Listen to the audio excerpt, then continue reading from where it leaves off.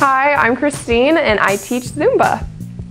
Something that makes the class unique is that I try to really diversify it and so no matter what your personality is, it might be a little bit more hip-hoppy one day or a little bit more sassy another day, but we like to keep it fresh, keep it new, and just sort of have fun. Because it's Zumba, it'll be a lot of Latin music, sometimes some hip-hoppy songs. Um, it really varies depending on the class and what we're all feeling like. Something that's a lot of fun that we do at the end of every one of my classes is we all come together at the end, we grab hands and we run into the middle of the room and we yell Zumba extremely loud. It is sort of your own little Zumba family that you get to come to every week.